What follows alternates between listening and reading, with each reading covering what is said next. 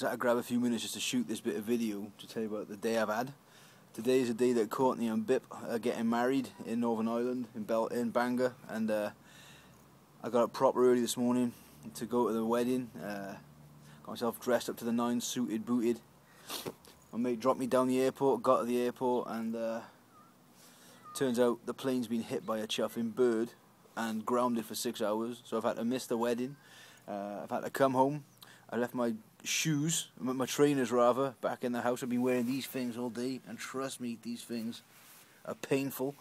Uh, came back home on various trains and buses. Went to Cwmbran Town Centre, got happy slapped by some cheeky little kid, whacked me on the head and ran off with his mate. And uh, got back to Trefethin. It started raining, and I'm locked out. so. Uh, oh my days! It's one of those one of those days where you're just saying, God, what are you trying to teach me here? You know. And the truth is that it's God's grace I don't have more days like this because I don't deserve good days. I don't deserve good things. Common grace, man. You know, I mean, the, God calls it to, to rain on the righteous and the unrighteous, and uh, I certainly don't deserve nothing from Him. So, uh, Saturday Light Bite. So yeah, here I am. I just reminded of the scripture that says, "Rejoice in the Lord always." Again, I will say, rejoice. And so I'm going to rejoice. I'm going to rejoice in things that are not uh, dependent on my circumstance. I'm going to rejoice because I'm loved with an everlasting love by a Saviour who died for me on the cross. My sins are gone forever, whether it's raining on me or not. I've got a place waiting for me in heaven, wherever I've been happy slapped by some kid or not. And you know what? Uh, even though I missed a wedding today and I'm absolutely devastated about that, I'm really gutted.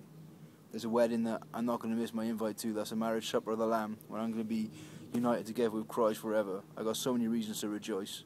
That's without even going into all the things like I've got like a wife and kids and good friends and a wonderful church and yeah, just so many things to be grateful to God for. So yeah, rejoice. I want to encourage you watching this. If you're having one of those days where everything's just like coming down on top and you feel completely vexed, stressed, and saying, "What are you doing, God?" Just rejoice. Worship your way through difficult times. Worship your way through strife, and fix your eyes on that place, on that cross where Jesus took your sin away. Fix your place, fix your eyes rather on that place that you've got in heaven if you put your faith in Him. And you know, I mean, everything else sort of comes into perspective. Then, Hallelujah! I'm buzzing.